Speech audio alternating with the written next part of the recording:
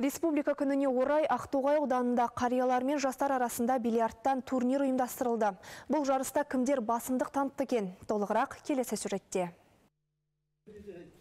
Ақтоғай ауданының үлкендері мен жастары спортқа жақын әр мереке сайын бірлесіп түрлі шараларды қолға алады. Осы жолы республика күніне орай бильярдтан турнир өткізді. бильярд ә, соревнование өтіп жатыр жастармен бірге ақсақалдар кездесіп міне жаңа өздеріңіз көрдіңіздер біз жылда осындай жалғыз енді бұл осындай не бильярд емес шашка шахмат ойнатқызамыз ойындарды өткіземіз. Шара барысы бойынша ұпай санымен белгілейтін боламыз.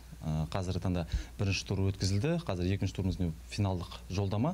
Ақсақалдар төртте үш есебімен жастарымыз қазір кішкене жеңіл- жеңілуде. Жыл сайынғы ә, қазақстан республикасының ә, республика күніне орай жыл сайын ардагерлермен шара ұйымдастырылады былтыр шахмат тоғызқұмалақ үстел ойындарынан болса ұлттық ойындардан биыл бильярд түрінен Айта кетейік алдағы мерекелерде волейболдан ардагерлер мен жастар арасындағы жарыс өткізу жоспарланып отыр. Самал Қалиқызы, Медет Кәрім, Ертіс ақпарат, Ақтоғай ауданынан.